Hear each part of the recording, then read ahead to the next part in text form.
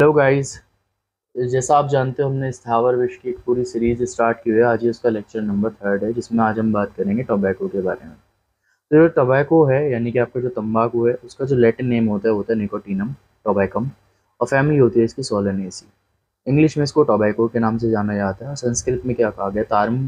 ताम्रकूट या ताम्र पर्ण कहा गया।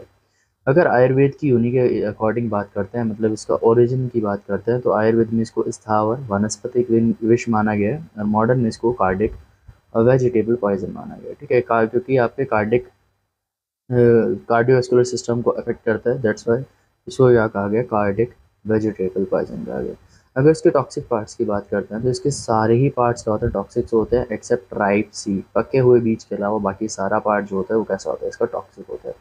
इसके जो एक्टिव प्रिंसिपल है, वो है निकोटीन और निकोटीन अमाइन अगर हम इसके फार्मेकोलॉजिकल प्रॉपर्टीज़ के बारे में बात करते हैं तो ये रस में कैसा होता है? तिक्त और कटु होता है।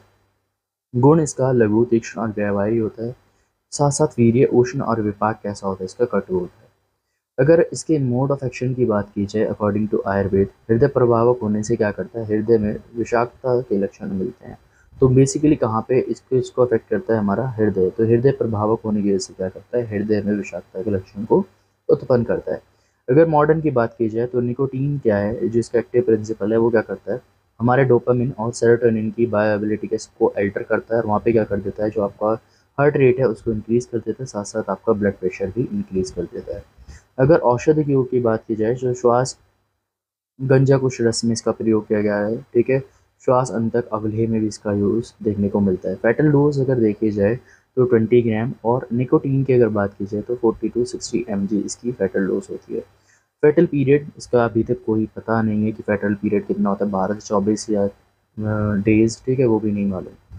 अगर हम साइन एंड सिम्टम्स की बात करते हैं तो नोजिया वोमेटिंग देखने को मिलेगा एक्सेसिव सेलाइवेशन देखने को मिलेगा एब्डोमिनल पेन होगा पैलोर होगी, यानी कि पीलापन हो जाएगा स्किन में ठीक है।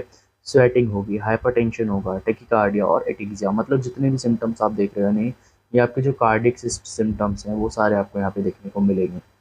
अगर इसके ट्रीटमेंट की बात की जाए सबसे पहला ट्रीटमेंट क्या होगा? रिसस्किटेशन होगा, यानी कि सबसे पहले आपको क्या करना है? मॉनिटर करना है मेंटेन करना है उसका एयर वे ब्रीदिंग और सर्कुलेशन साथ साथ सेकेंड पार्ट आपको क्या करना है? उसके अन एब्जॉर्ब जो वहाँ पे पॉइजन एब्जॉर्ब नहीं है, उसको रिमूव करना है। अगर पेशेंट कॉन्शियस है तो उसमें क्या कराना है? एमएसएस कराना है, ठीक है? वोमेटिंग वगैरह करानी है। अगर पेशेंट अनकॉन्शियस है तो उसमें क्या करता है? माइल्ड परगेशन देने आपको स्टमक वॉश करना है कैम एन के सॉल्यूशन से। इसी तरह अगर वहाँ पे क्या हुआ है? अनअब्जॉर्ब पॉइजन ही है तो या सॉरी यहाँ पे एब्जॉर्ब पॉइजन है, ठीक है? पॉइजन अब एब्जॉर्ब हो चुका है तो उसमें क्या करना है? आपको डायलिसिस कराना है।